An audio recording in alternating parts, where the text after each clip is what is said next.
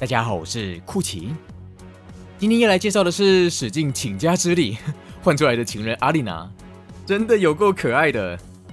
阿丽娜是这次情人活动里面可以交换的角色之一，对于有在玩火属性角色的玩家，是真的可以认真考虑换的一只。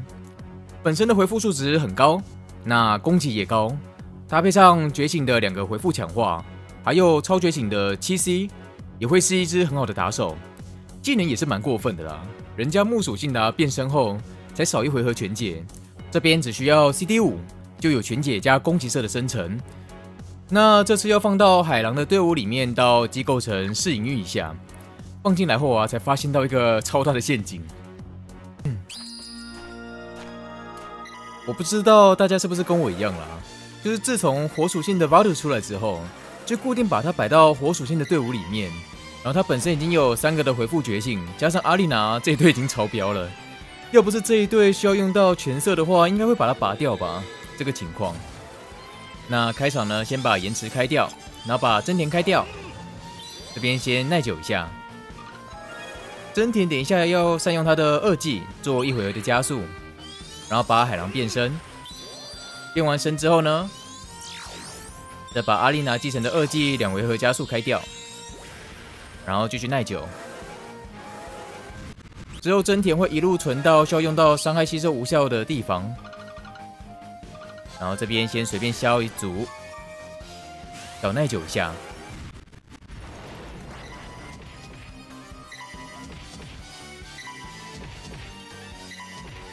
然后再把冥王的二技开掉，这边是延迟，然后接着把两边的海狼都开完变身。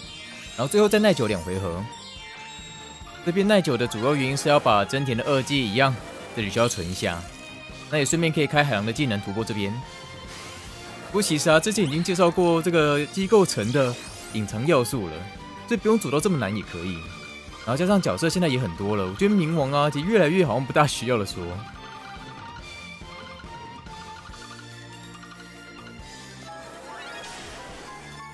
另外想到的编程是要把火属性的 Lex 给放进来，那只角色真的很好用哎，可以转杂色，然后回复上升，手指延长。唯一差的就静消的部分吧，但静消已经有阿丽娜在了，所以好像也不是说很必要。那如果放 Lex 的话呢，这边就用技能压过去，然后直接通过。你打来打去啊，我觉得海狼王这一关。也不能说是非常的稳呢，有一些地方莫名其妙翻车的很严重，可能是因为伤害不大好抓吧。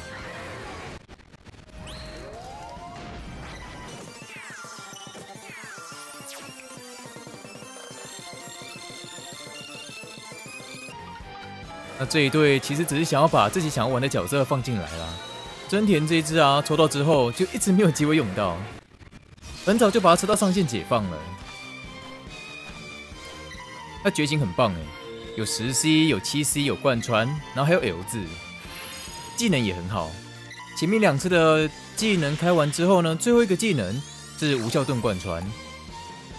最后半呢，碰到无效盾的敌人，其实都可以开他的技能通过，但是很方便。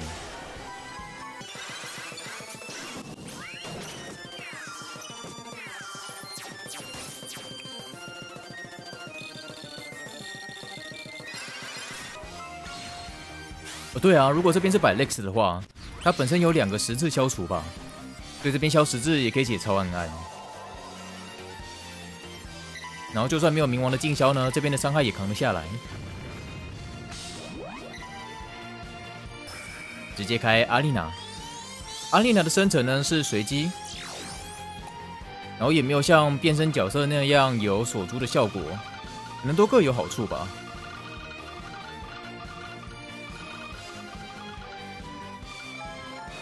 然后在消除上面呢，我自己也是习惯能够多消两串就两串。过半的关卡要一回收的话，可能需要凑到三串，但不用一直做贯穿，这一点倒是蛮方便的。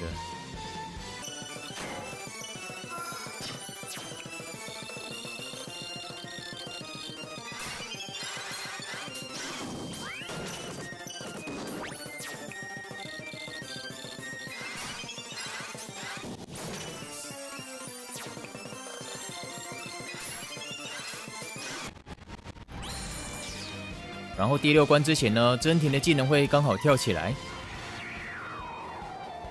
不过他没办法治防座，所以至少要再耐久两回合才能通过。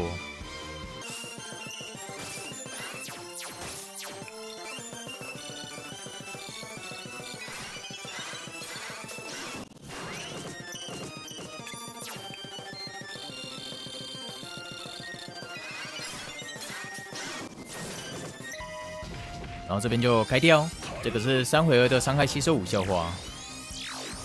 这边用完之后呢，就可以尽情的用他的最后一个技能了。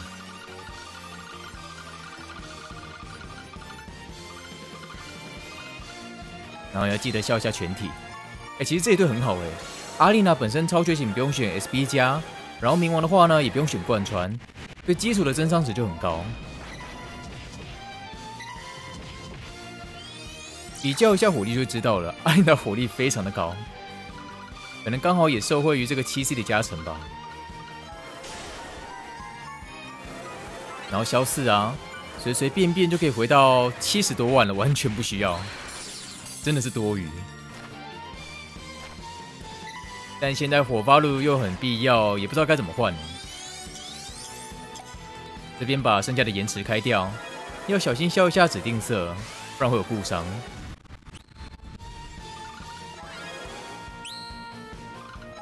我这应该已经是今天第三次还第四次打了吧？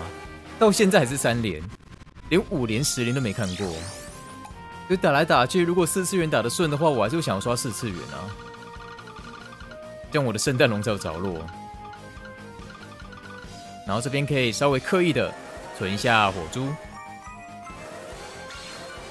一方面是方便下一关能够直接收掉敌人之外呢，就要用到 L 字也可以。然后这边靠负伤。第八关呢，不管哪一只角色，这边都预计一拳收。一拳收最重要的颗数是三串的火。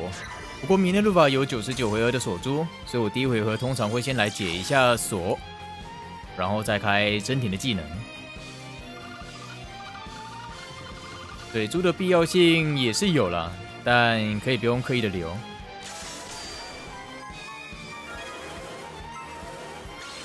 有火比较重要。有完锁之后呢，这边记得要先开真田。真田的另外一个效果是攻击力上升，但因为上升的幅度没有海狼高，所以用海狼比较好。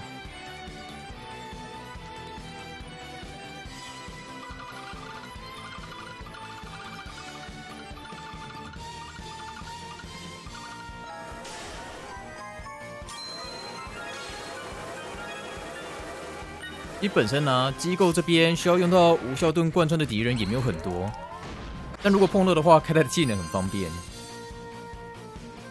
什么都一拳打。水属性的角色基本上我会两拳收，第一拳不要打太重，大概消一串火，两串是极限。combo 也可以不要拉得太高。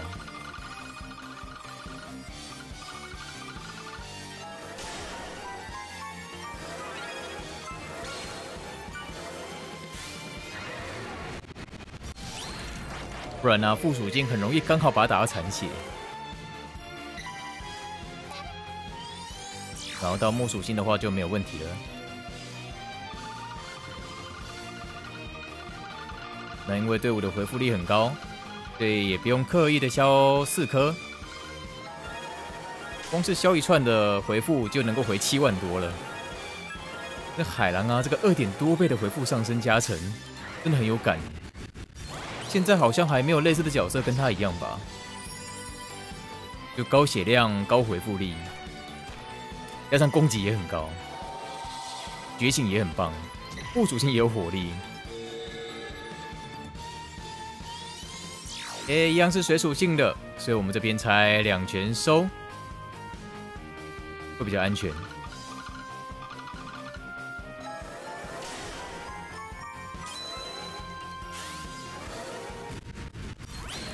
因为下一回合水珠会掉的比较多之外呢，水也会锁珠，所以不会被影响到。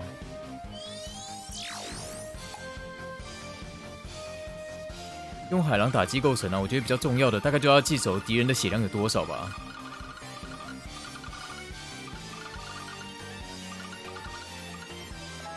除此之外，记好的话哦，应该是比较不会有翻车的机会。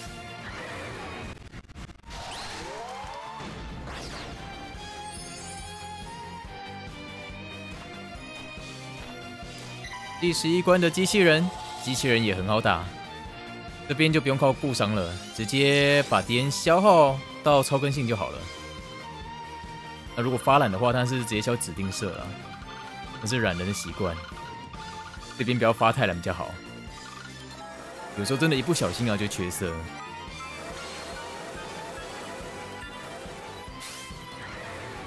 然后真田的火力是真的很高哎。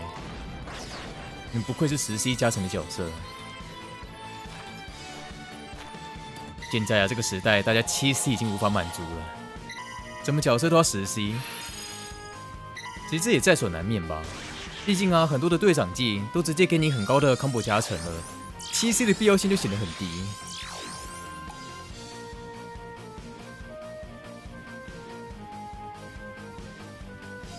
甚至很多的多色队长啊，我都觉得。那个什么四色攻击强化，三色可能还有用啦，然后五色攻击强化直接把它改成十 C 的攻击，可能还比较好。不然你多色 combo 低的话，其实也没有火力啊，就势必 combo 还是要拉高一点。反正你去限制那个三色、四色、五色，打起来可能爽度也没有那么好。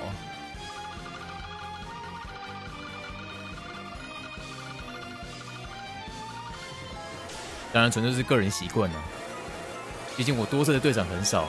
你看我之前那个泳装的马里尔没有抽的时候，就知道啊，这个人多色不行，死亡率之高。第十三关拉法尔，最好打的角色。这边就直接开技能，但保险起见，如果火珠不多的话，就可以把瓦鲁的技能给开掉，补下火珠。之后八路啊，都只会在需要解锁或者是需要减伤的时候使用而已，其他没有什么机会用到哎。毕竟这一队能够解锁的也只有他嘛。如果阿丽娜的技能啊再多一个解锁的话，那他真的是做坏了。好险没有。这四关也是有趣的地方，因为这边可以直接用真田的技能一拳通过，应该是可以一拳啊。所以记得先开真田，然后再开海狼，把攻击给压过去，然后也不用做贯穿，直接拆分。所以这里多一点也好，因为副属性也有火力。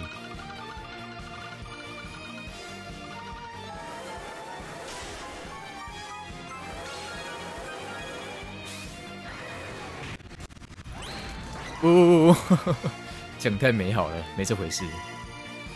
不过也还好啦，下一拳再做一个贯穿就好了。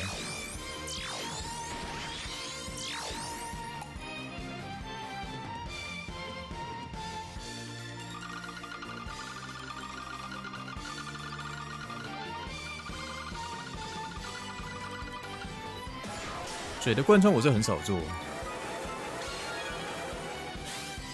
因为与其要做水贯穿的话，倒不如康波拉高一点，把主属性的火力拉起来。Boss，boss 麻烦，这边直接加速到本体好了。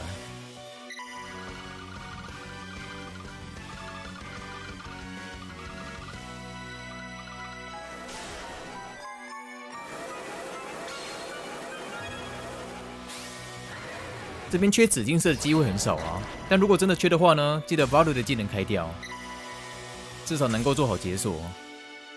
那如果有指定色的话呢，就消 L 字，靠真田的 L 字解锁来应付一下。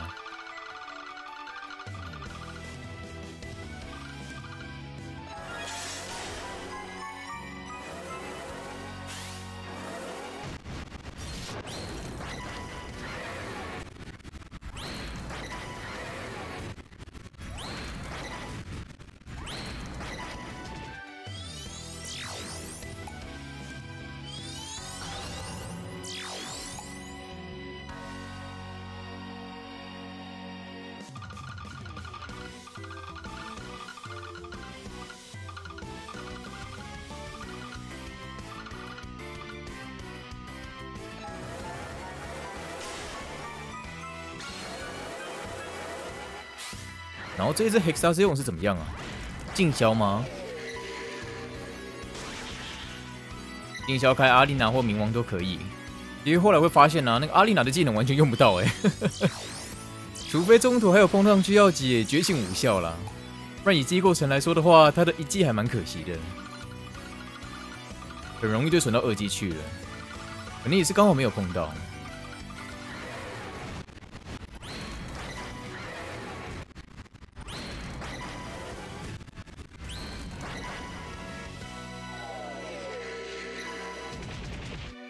好，最后一拳，刚好是把水属性给消耗完之后呢，等它转属性。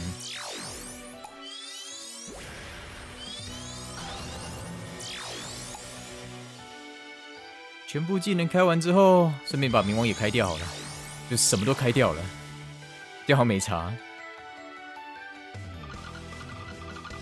这边就 combo 数拉最高，但版面也消太丑了。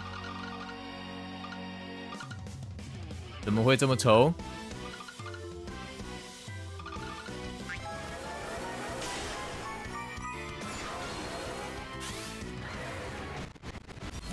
好了，至少机构层也可以顺利通关，这一定要通关的吧？火属性啊，我是觉得阿丽娜可爱之外呢，定位有一点点奇怪，因为有些复合技能的效果都配上像解无效啊，以冥王为例好了。就是有手指回复上升，配上解禁消，所以阿丽娜就不一定会使用到。但有需要的时候呢，把它摆入应该是最好的选择。个人建议能换就换，那也可以顺便看一下你有哪些分别可以解那些怎么觉醒无效或禁消的角色，再来决定也不迟。好的，那今天的影片在这边告个段落，我们下次再见，拜拜。